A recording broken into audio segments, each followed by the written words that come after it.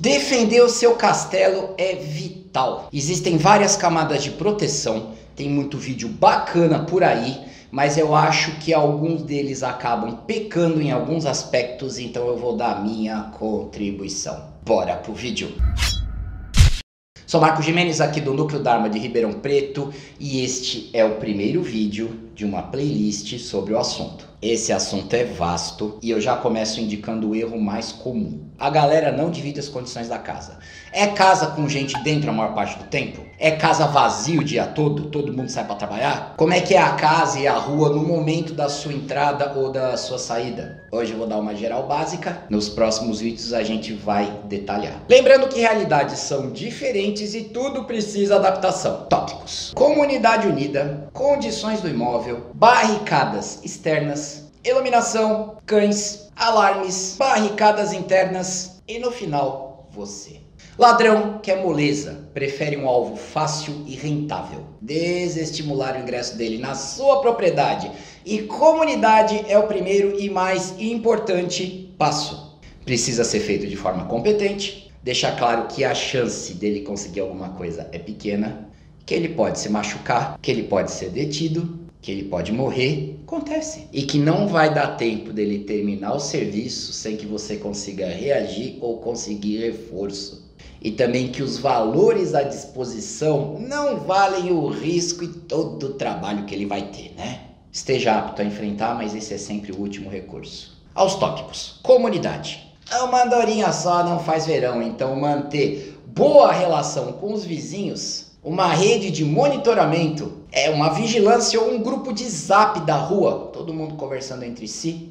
Isso diminui muito a possibilidade de você ser invadido na surdina ou ser pego de surpresa. E caso você seja pego, existe a chance de outro vizinho ver e proporcionar ajuda, reforço. Pode ser chamar a polícia ou não, tá? Você se mostrar presente mostra ao estranho que ele foi visto e diminui estupidamente a tranquilidade que ele tinha para agir. Item 2, condição do imóvel. Um imóvel cuidado mostra a presença constante do morador. Morador que pode dar o alerta ou reagir, tanto na propriedade dele quanto na do vizinho. É imóvel cuidado, mas sem ostentação à vista, beleza? Sabe aquela bike de 8 mil reais? Não vai me deixar ela no seu jardim, né? Me ajuda também. Barricadas externas. Muro alto importa? Sim. Concertinas, cercas elétricas, até caco de vidro. Isso tudo diminui a possibilidade de uma pulada rápida. Portões importam e muito, mas isso vai ser assunto exclusivo de outro vídeo. Pense sempre primeiro em dificultar a entrada de quem não é autorizado.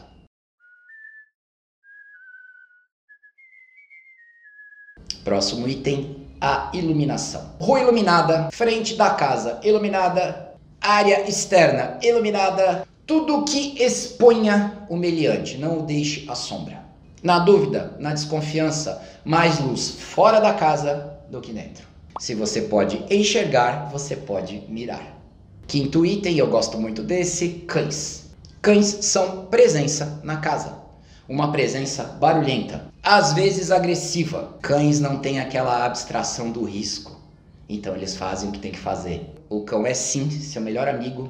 Ele pode tanto atacar quanto simplesmente alertar você e a comunidade. E quando um cão late, vai dar uma olhadinha no que está acontecendo, né? Sexto item, alarmes. E aí entram câmeras e esses sistemas modernos remotos. Eles ajudam muito, mas dependem muito da sua condição e da estratégia. Eles vão variar conforme a sua necessidade e possibilidade. E igual aos tipos de portão, a gente vai discutir isso em vídeo específico. Barricadas internas. Grades nas janelas e trancas mais reforçadas também dificultam a ação de entrada. Atrasam o bandido dando chance dele ser exposto. Vocês percebem que tudo que foi indicado aqui até agora atrapalha, atrasa, dificulta, expõe. Mas nada disso garante 100%. Tanto que é bom, no final, o item 8, que é a última linha de ação, está totalmente preparado, que é você.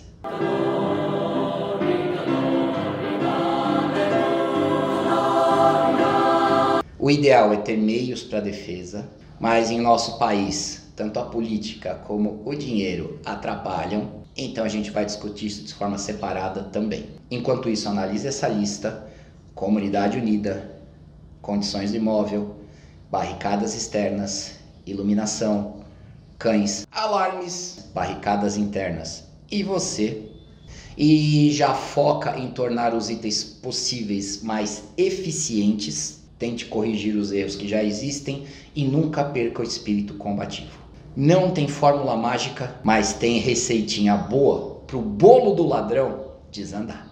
Se você está assistindo esse vídeo no lançamento, semana que vem tem outra parte. Agora, se você chegou depois, eu vou deixar o link para os outros vídeos, tá? O mundo tá estranho, mas a gente dá conta se prestar atenção. Sou Marco Jimenez, treinador e responsável aqui pelo Núcleo Dharma, que torce para o melhor, mas sempre está preparado para o pior, na medida do possível. Obrigado pela participação e paciência de todos e até o próximo vídeo, gente. Até lá.